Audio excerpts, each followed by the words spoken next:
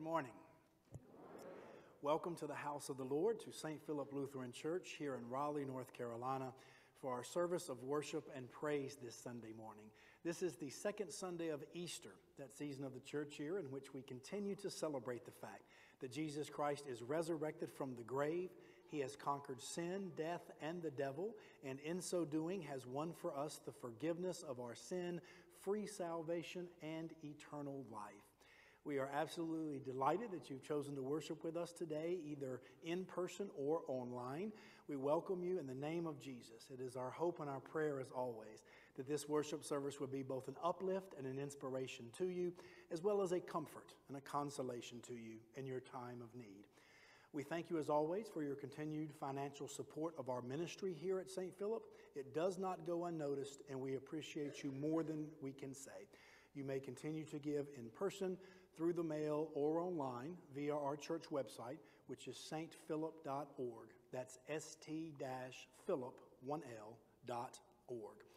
At this time, we invite Kent Williams to come forward uh, for a brief update on the Lutheran Services Carolinas Be the Light campaign. Thank you, Pastor. Um, for the last, I guess, six or seven weeks, you've heard different people, including myself, talk about the Be the Light campaign which greatly benefits the people with traumatic brain injury and the foster program in, in the Carolinas. Next Sunday, we will celebrate Be the Light Sunday, which is a culmination of the campaign. Uh, we are, as, as a church at St. Philip, are about 90% of what our goal was. Um, we appreciate everything that's been pledged, everything that's been given, and just want to remind you, these sheets, the, the pledge sheets are back in um, the, the where you can pick up a copy. If you haven't done it yet, you don't have to give any money today or right away. You can just make a pledge. They're, they're, all they're trying to do is get the pledges completed by 2026. So we're looking a long ways out. But thank you very much. We appreciate what you've done and hope if you haven't done it, you'll consider doing it. Thank you.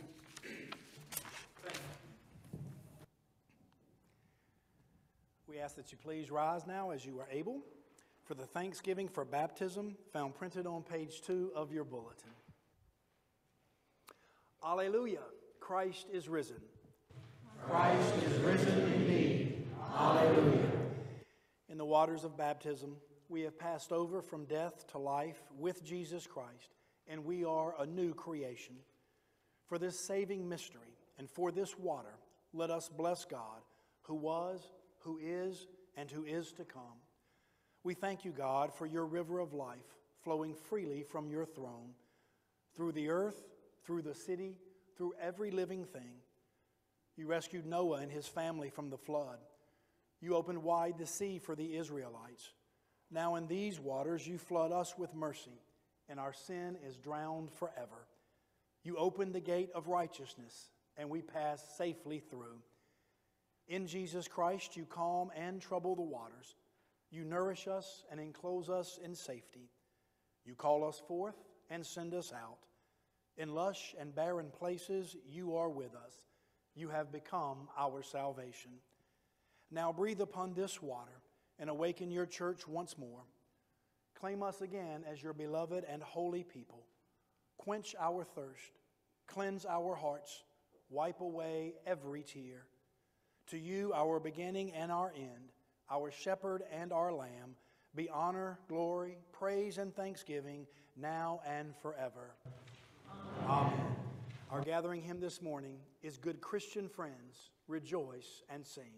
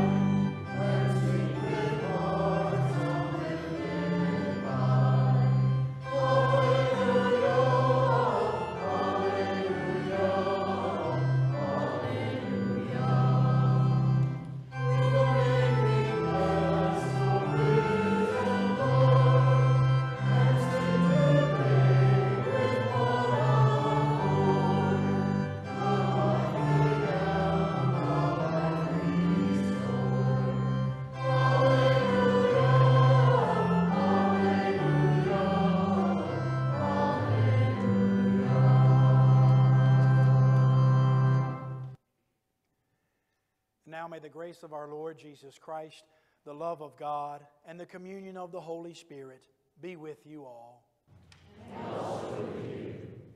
Let us pray. O God of life, you reach out to us amid our fears with the wounded hands of your risen Son. By your Spirit's breath, revive our faith in your mercy and strengthen us to be the body of your Son, Jesus Christ, our Savior and Lord, who lives and reigns with you and the Holy Spirit, one God, now and forever. Amen. You may be seated for the reading of God's holy word.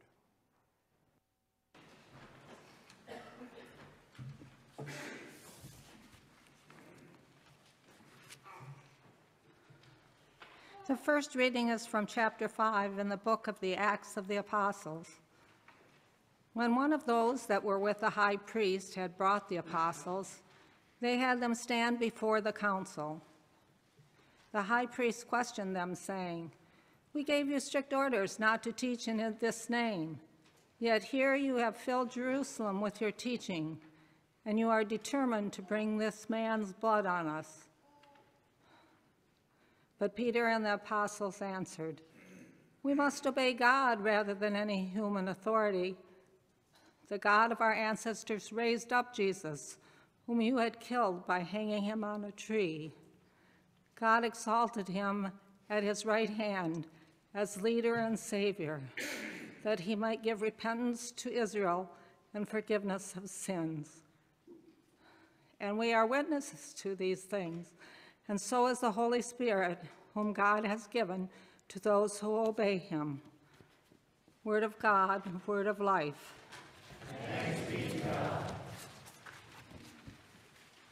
The psalm for today is Psalm 118, verses 14 through 29. The Lord is my strength and my song, and has become my salvation.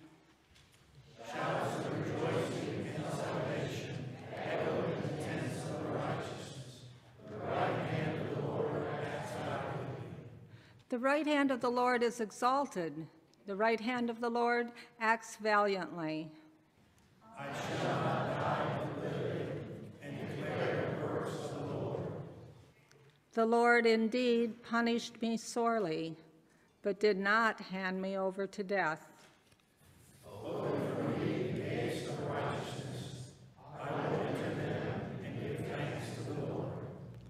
This is the gate of the Lord. Here the righteous may enter.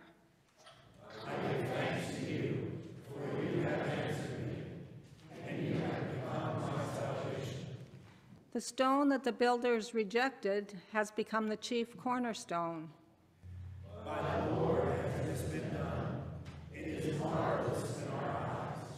This is the day that the Lord has made. Let us rejoice and be glad in it.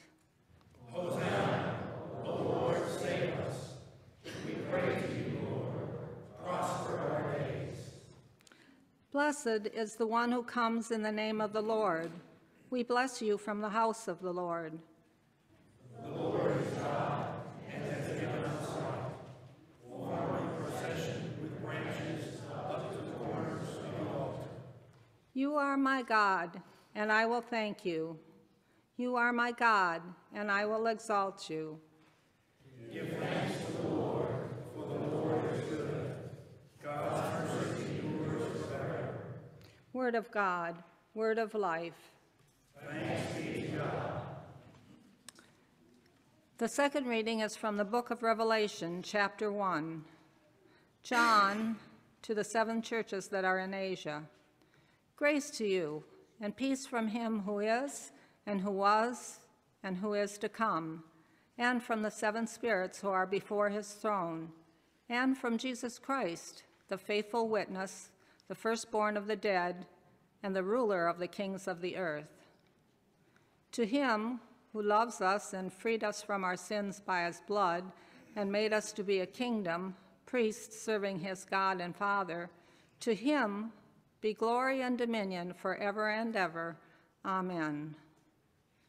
Look, he is coming with the clouds, Every eye will see him, even those who pierced him, and on his account all the tribes of the earth will wail. So it is to be. Amen. I am the Alpha and the Omega, says the Lord God, who is, and who was, and who is to come, the Almighty. Word of God, word of life. The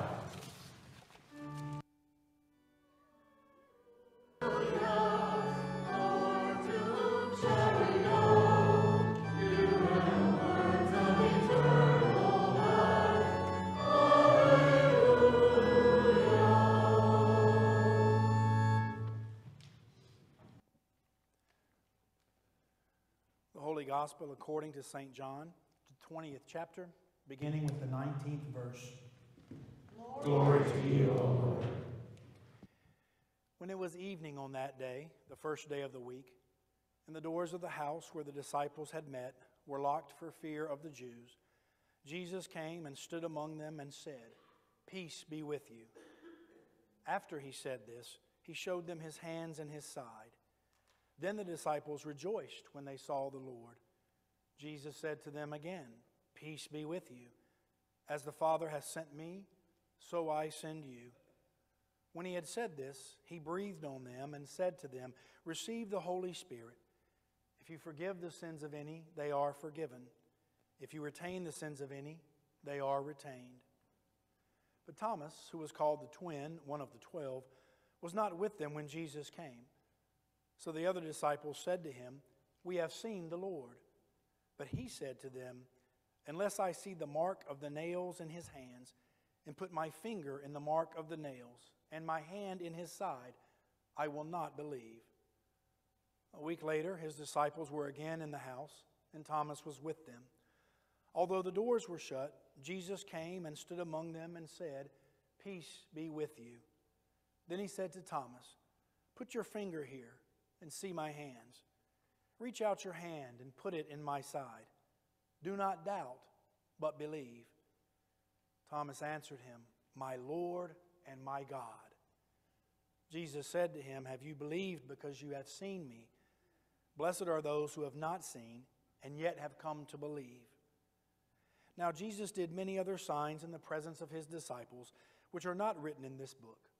But these are written so that you may come to believe that Jesus is the Messiah, the Son of God, and that through believing you may have life in his name. The Gospel of the Lord. Praise to you, O Christ. You may be seated.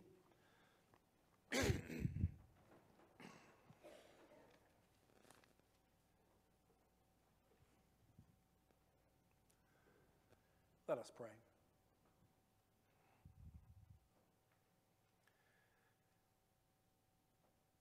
Good and gracious God, we give you thanks for this beautiful and glorious spring day in your creation. We give you thanks for the opportunity to worship you once again in spirit and in truth. We certainly thank you for the gift of each other, this assembly of saints and sinners, the ability and the opportunity to walk with one another and share our lives with one another and become friends. We lift to you now, Lord God, all of our thanks and praise at all of your abundant blessings upon us. We also offer up to you now all of our broken hearts, our burdens and our afflictions, those things which confuse us, cause us anxiety, pain, grief, and loss. We lift them up to you and pray as always that you might touch us and heal us and transform us. We ask now, dear Lord, that you would speak to us a word of challenge and conviction, of liberation and freedom, of hope, promise, power, joy, and love. All this we pray in Jesus' name. Amen. My sermon text for today is the gospel lesson, John chapter 20, verses 19 through 31. My sermon title for today is Identifiable Wounds. Identifiable Wounds. The scripture opens up in verse 19 that when it was evening on that day, the first day of the week, meaning actually that original Easter Sunday only hours after Jesus had been resurrected from the dead, the doors of the house where the disciples had met were locked for fear. Their fear is completely understandable in one sense, since they are disciples of a man who has just been executed for reasons of treason and sedition. It stands to reason that they too could be in danger. If Jesus was judged to be a threat enough to have him crucified, it seems likely that his followers likewise would be in grave danger. On the other hand, it is Easter Sunday, and Christ has been resurrected from the tomb, and even though they have not seen him yet, at least two of them, namely Peter and John here in this gospel, have been to the tomb and found it empty. There is some tragic and humorous irony in this for our own lives. Think about it, my friends, for a minute. On the greatest, most auspicious, and glorious day of all 4,000 years of recorded salvation and scriptural history, those who are seemingly closest to God are locked away in a room somewhere due to fear. Clearly, one could say similar things about us today. Christ is risen this second Sunday of Easter, but we still fear not making ends meet financially every month. Christ is risen this Easter season, but we still fear for our children and grandchildren, our elderly parents and grandparents, for any loved one undergoing a treacherous path or a stressful struggle. Christ is risen this season of resurrection power and glorious vindication, and yet we still fear for our physical health, our mental stability, our emotional well being, and our psychological balance. Many of us are trapped securely behind ironclad walls of fear, which paralyze our growth, stunt our faith, and inhibit our love regardless of whether it's Advent, Christmas, Epiphany, Lent, Easter, or Pentecost, Sunday, or any other day of the week, 2022, or almost any other year of our lives. Thank God Jesus walks through walls. Thank God he walks through walls at least twice in this text, speaks peace to his disciples at least three times in this text and breathes the Holy Spirit onto them and into them, giving them the power to forgive or retain sins. Isn't verse 23 interesting, compelling, profound, unsettling? If you forgive the sins of any, they are forgiven them. If you retain the sins of any, they are retained. Think of how much power is in those words, my friends, in that bequeathing. Think of how much power you possess as a disciple of Christ based upon those very words. In essence, you have the power to forgive others their sin or to retain it. You have the power to relieve people of their burdens of guilt and shame or to continue to allow them to be overwhelmed and crippled by them. You have the power to free people or not, to uplift people or to keep them down. What if there is someone in your life right now with whom and for whom you are harboring resentment in your heart, holding a grudge? Withholding forgiveness and healing and restoration, maybe for all the right and deserved reasons you feel. And yet, that is bumping up against in this text, in this scripture, in your heart and in your conscience, the fact that Jesus Christ has been crucified for your sins, resurrected for your forgiveness, and now is giving you the same power to forgive others their sin against you that He has forgiven you your sins against Him. It is an awkward thing, to say the least, not to offer freely to others what you yourself have freely received.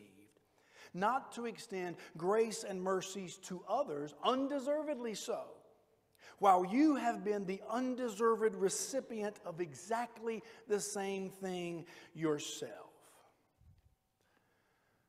There's a lot of power in this verse that we don't think about much and certainly never talk about.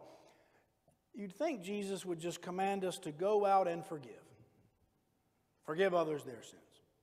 But he doesn't. Not here, anyway. He says, if you forgive the sins of any, they are forgiven, but if you retain the sins of any, they are retained. He not only gives you a choice in the matter, because it's up to you, really, right? But he seems to imply that your choice, pro or con, will have transcendent ramifications and heavenly consequences. If you forgive the sins of any, they are forgiven. If you retain the sins of any, they are retained.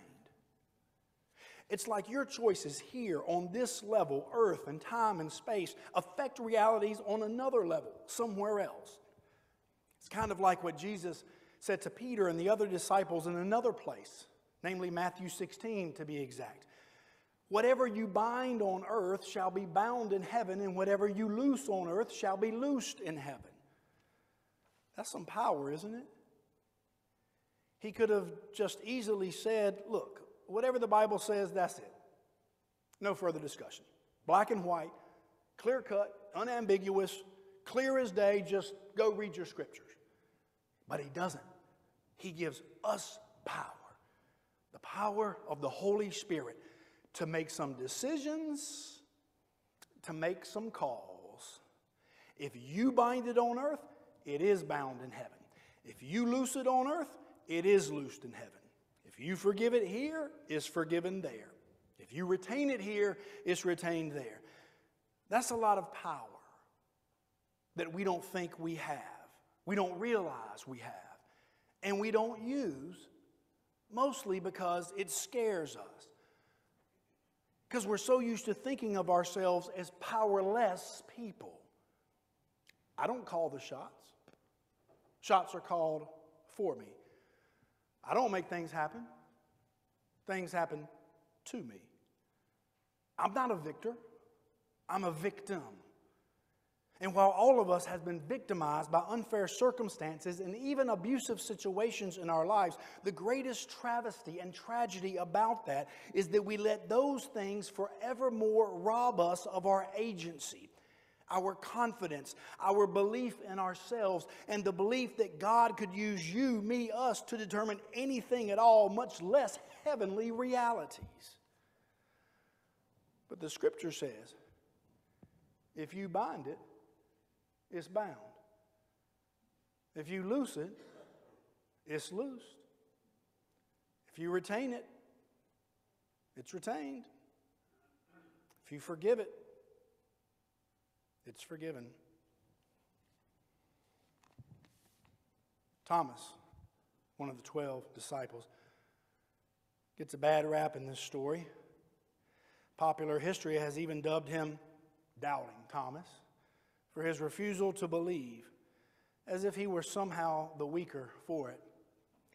That's unfortunate, in my opinion, for a couple of reasons.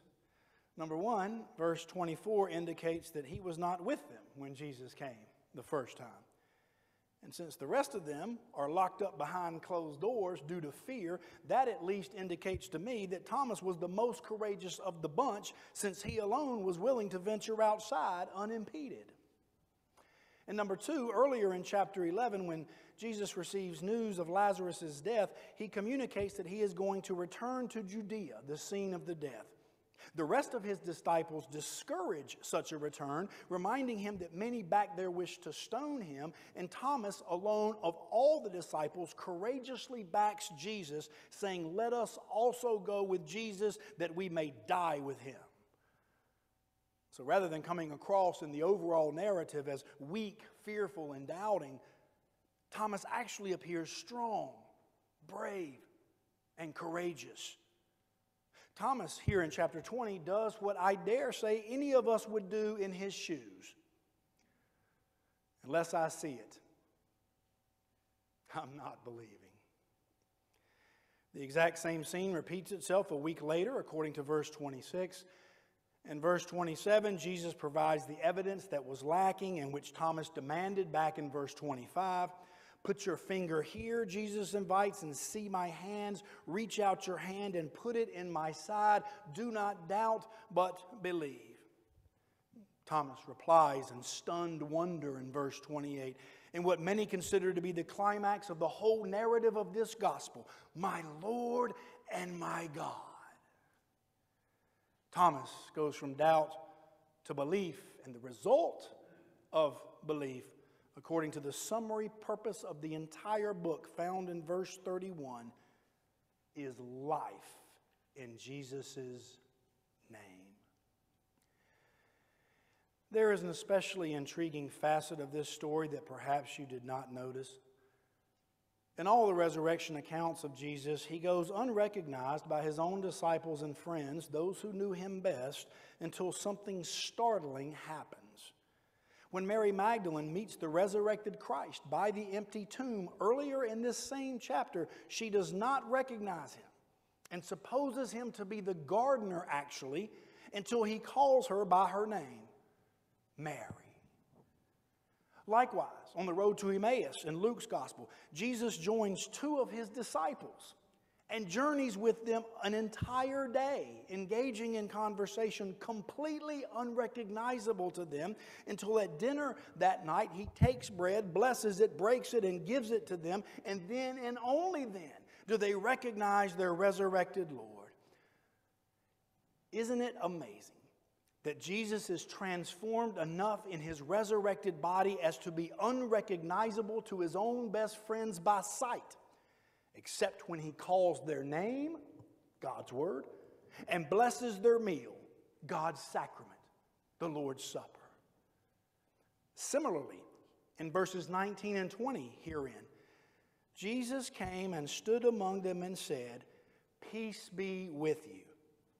After he said this, Look at your text. After he said this, he showed them his hands and his side, i.e., his wounds. Then the disciples rejoiced when they saw the Lord. So, one possible reading of this text, my friends, which will be consistent with all the other resurrection narratives, is that the disciples don't initially recognize Jesus when he enters the room and says, Peace be with you. Only when he shows them his wounds do they know who he is. That would also explain why he has to say to them a second time, Peace be with you, because only now do they know who he is. Jesus, in other words, is transformed enough in his resurrected body as to be completely unrecognizable to his disciples and friends, and yet the resurrection is not so transformative as to eradicate his wounds. And it is precisely the wounds which identify him to them. Follow me now. Jesus has been glorified enough to be thoroughly changed and yet his wounds have not disappeared. And it is precisely his wounds which offer proof that it is indeed he. Now, what if we ourselves, who have now been saved by grace through faith, have been changed enough in our own lives by Jesus as to be unrecognizable to some of our friends? and yet we still possess our wounds, which enable us to identify with others and have compassion on them. What if we ourselves, who have been crucified to sin and raised to new life, who have been blood bought and blood cleansed, who have been saved, sanctified, Holy Ghost filled, and fire baptized, have been transformed enough as to be unrecognizable to our friends and family, as associates and co workers, and yet we still possess the wounds of our suffering and persecution, our trials and our tribulations, which enable us to reach out to others in a spirit of love, long suffering, and identification. What if we became more aware of our wounds and more aware of others' wounds? What if we became less self conscious of our own wounds and less judgmental of others' wounds? What if we realize that our woundedness is precisely what we have in common with Christ and with other people? What if we believed that God was in the wounds? What if we were a church not just of word and sacrament, but of word and sacrament and wounds? Christ's wounds are precisely what identify him as Christ in this text. Our wounds are precisely what identify us as Christians. When I understand your pain and you understand my pain, God is present and revealed. When you forgive someone their sin against you because you understand their wounds, God is present and revealed. When you realize that what somebody did to you was less about their trying to sabotage and hinder you, and it's more about their own woundedness in their own life's journey, God is present and revealed when you realize that wounds are often passed down, unfortunately, within families from one generation to another, mostly unintentionally, because all of us hurt. None of us is equipped to deal with it or remedy it to any effective degree. God begins to be present and God begins to be revealed. We are all hurt. We are all in pain. We are all angry and confused and defensive. We are all struggling mightily to somehow make a way out of no way and to see a path through the murkiest of nights. And we are all locked behind closed doors for fear. But what if Jesus comes through those doors? What if he breaks down our walls? What if he says to you and to me, Peace be with you. What if He breathes on you and me and says, Receive the Holy Spirit? What if he sends us out and forth equipped as the original apostles, giving us the power to forgive or to retain, to free or to oppress, to lift up or to hold down, to encourage or to discourage, to assist or to hinder, to give life or to destroy it, to liberate or to constrict, to release or to constrain, to loose or to bind? What if? He gives us the knowledge that we are both transformed and wounded. And it is our wounds which identify us as followers of Him and allow us to identify with others in their pain. What if Jesus does all of that? According to Scripture, according to this text, he already has.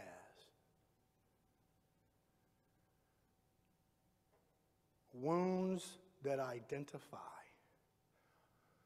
are identifiable wounds.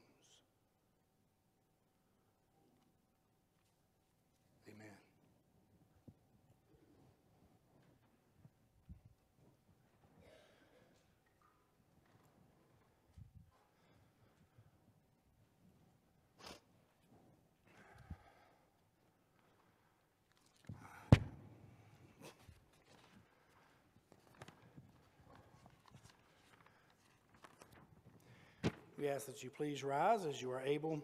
As we join together in singing our hymn of the day, We Know Christ Was Raised.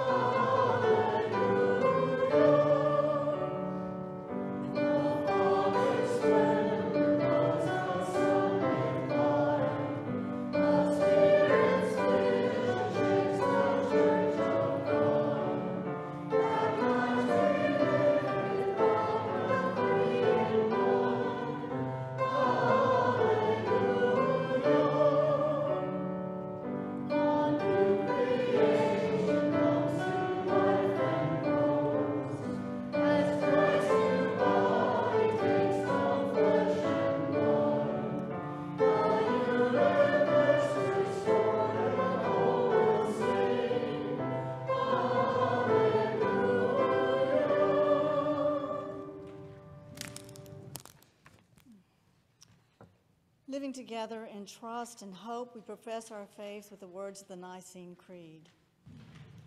We believe in one God, the Father, the Almighty, maker of heaven and earth, of all that is seen and unseen.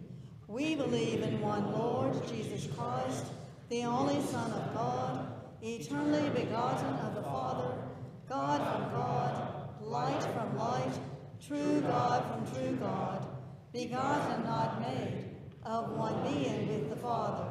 Through him all things were made. For us and for our salvation, he came down from heaven, was incarnate of the Holy Spirit and the Virgin Mary, and became truly human. On our sake, he was crucified under Pontius Pilate. He suffered death and was buried. On the third day, he rose again in accordance with the Scriptures. He ascended into heaven and is seated at the right hand of the Father. He will come again in glory to judge the living and the dead, and his kingdom will have no end. We believe in the Holy Spirit, the Lord, the giver of life, who proceeds from the Father and the Son, who with the Father and the Son is worshiped and glorified, who has spoken through the prophets. We believe in one holy Catholic and apostolic church. We acknowledge one baptism for the forgiveness of sins. We look for the resurrection of the dead and the life of the world to come. Amen. Let us pray. Set free from captivity to sin and death, we pray to the God of resurrection for the church, people in need, and all of creation. Holy One who acts righteously, equip your church as witnesses of your goodness to go and tell others of your abundant love, that they may believe that Jesus is our salvation and life. God, in your mercy, renew your people's commitment to use resources responsibly and to live well with your creation. Invite us to recognize and nurture signs of resurrection life in the natural world. God, in your mercy,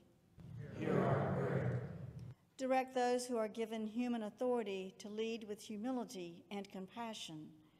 By your Holy Spirit, channel their attention towards serving those who are most in need. God, in your mercy. Uphold your children who cry out to you. Wherever people are overcome by the fear of death, breathe into them your life and peace. God, in your mercy. Inspire those who lead your people in worship and praise. With joyful motion and sound, send us forth with praise that we cannot keep to ourselves. God, in your mercy, hear our prayer. Give us the words of your saints who, like Thomas, boldly confessed your Son as Lord and God. With Jesus, our leader, empower us to live according to his ways. God, in your mercy. Father, thank you for the peace and serenity we feel in your house. We praise you. Give comfort, healing, and peace to those we name aloud or silently.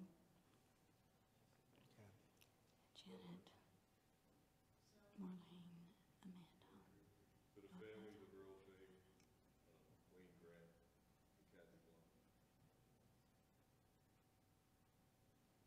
God, in your mercy,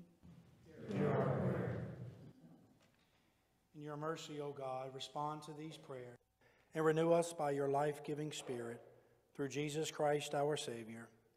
Amen. As the family of St. Philip, we ask that you open our ears to hear your call for us and guide our feet in following. Help us to be good stewards of our time and treasure and to put our trust in you to provide. We ask for blessings on the life of our pastor and that your spirit guide us in relationship and ministry. We put our hope in you. In Jesus' name we pray. Amen. Now may the peace of the Lord be with you always. We share a sign of God's peace with one another now, as well as with those online via the back cameras. God's peace be with you.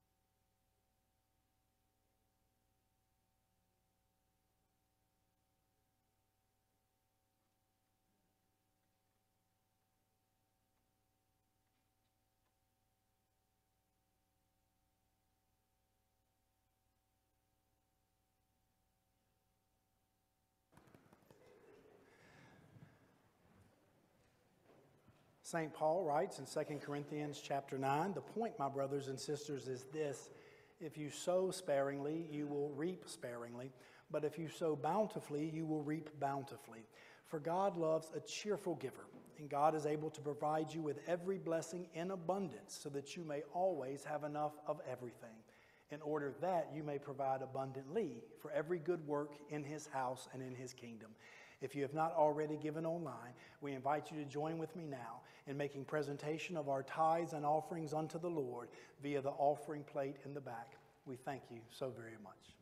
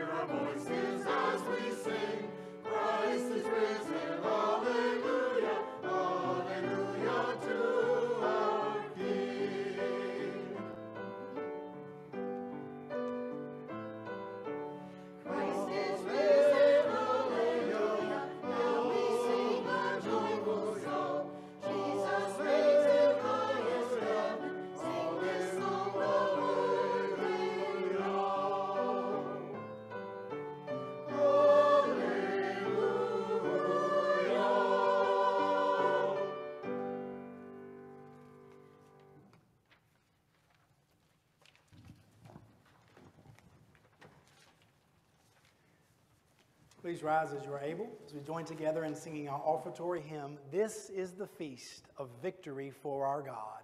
Alleluia.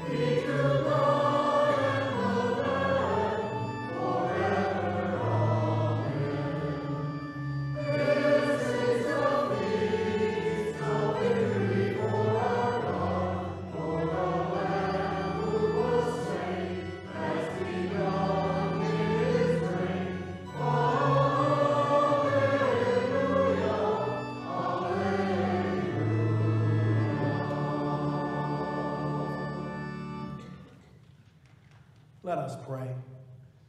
Living God, you gather the wolf and the lamb to feed together in your peaceable reign, and you welcome us all at your table. Reach out to us through this meal and show us your wounded and risen body, that we may be nourished and believe in Jesus Christ, our Savior and Lord. Amen.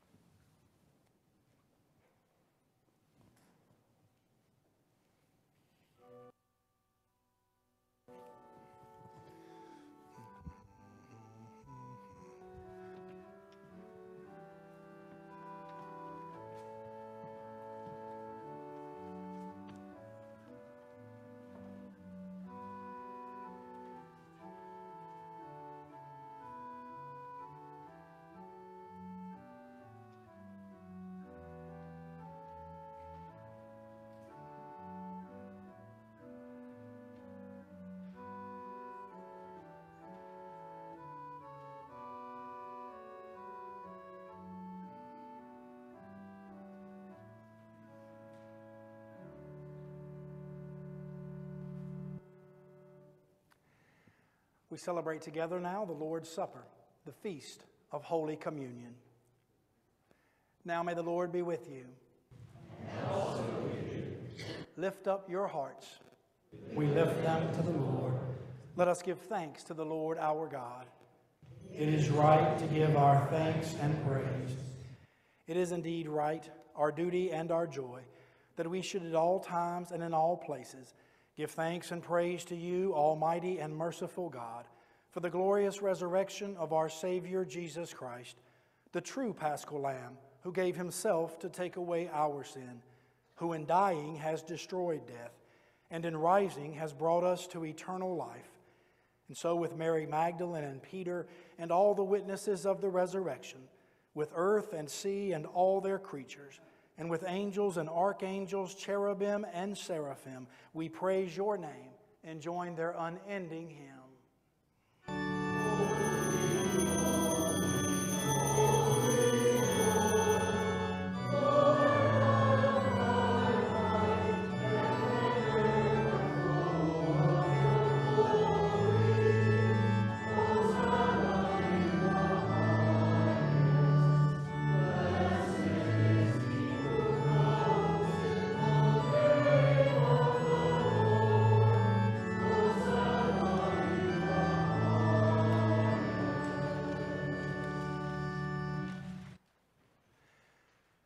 Scripture tells us that in the night in which he was betrayed, our Lord Jesus took bread and gave thanks, broke it and gave it to his disciples, saying, Take and eat. This is my body given for you. Do this for the remembrance of me. Again, after supper, he took the cup, gave thanks, and gave it for all to drink, saying, This cup is the new covenant in my blood, shed for you and for all people, for the forgiveness of sin. Do this for the remembrance of me.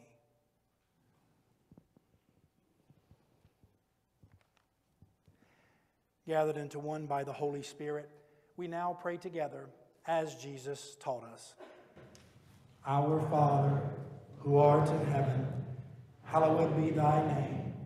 Thy kingdom come, thy will be done, on earth as it is in heaven. Give us today our daily bread and forgive us our trespasses, as we forgive those who trespass against us. And lead us not into temptation, but deliver us from evil. For thine is the kingdom, and the power, and the glory, forever and ever. Amen. The risen Christ dwells with us here. All who are hungry, all who are thirsty, come. You may be seated for the distribution. All are invited and welcome to the Lord's table. Children are invited forward for a blessing. Please follow the directions found printed in your bulletin and of the ushers as they usher you to the table. Come and feast, for the table has been made ready.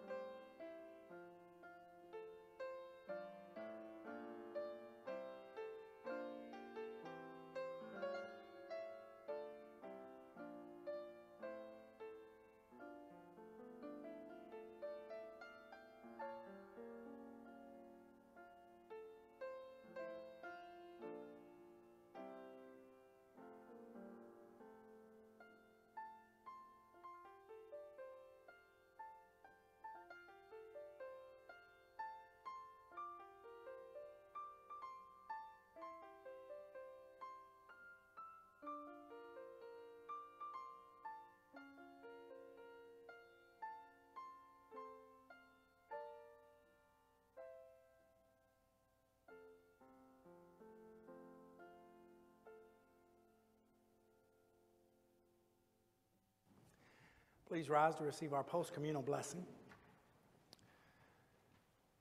Now may the eating of Christ's body and the drinking of his blood strengthen you, keep you, and preserve you in his grace. Amen. Let us pray. We give you thanks, generous God, for in this bread and cup we have tasted the new heaven and earth, where hunger and thirst are no more. Send us from this table as witnesses to the resurrection, that through our lives all may know life in Jesus' name.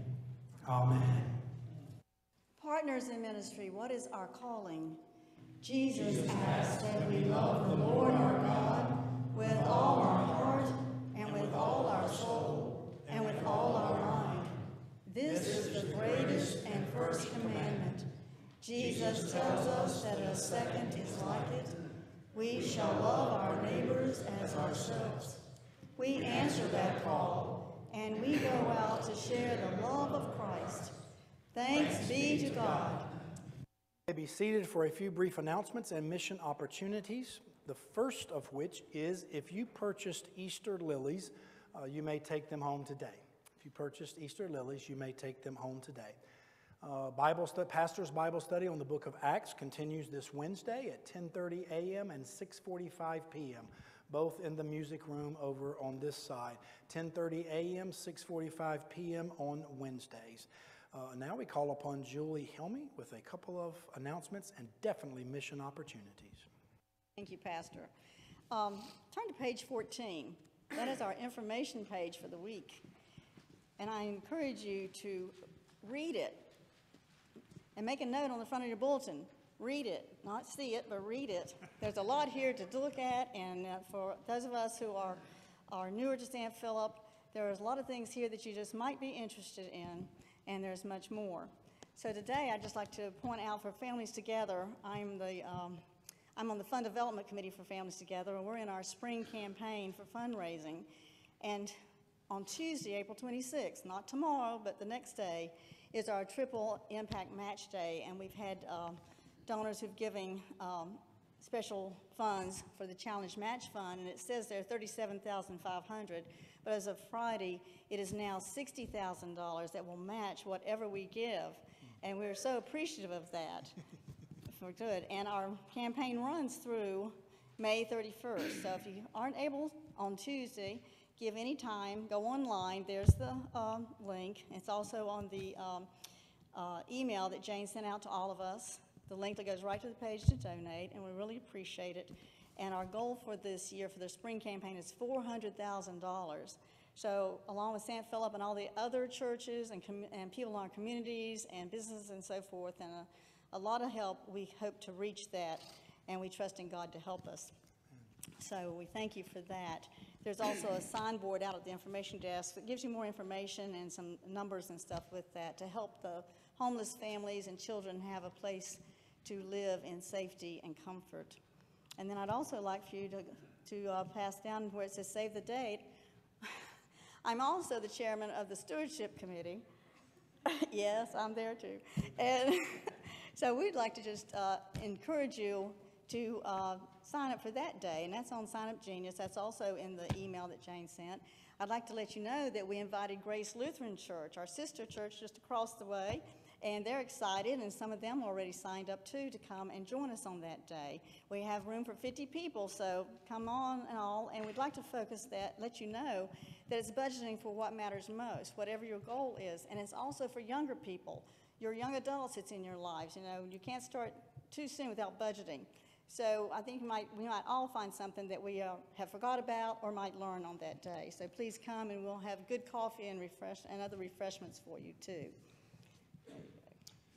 So, do remember, triple match means for families together, if you give $50, it becomes $150. So, I'm excited to give on Tuesday, and I invite you to join with me. Are there any further announcements, mission opportunities at this time? If not, we ask that you please rise as you are able to receive the benediction of our Lord. Now may God, the author of all life, Christ the cornerstone, and the life giving spirit of adoption bless you now and forever. Amen. Our sending hymn this day is the day of resurrection.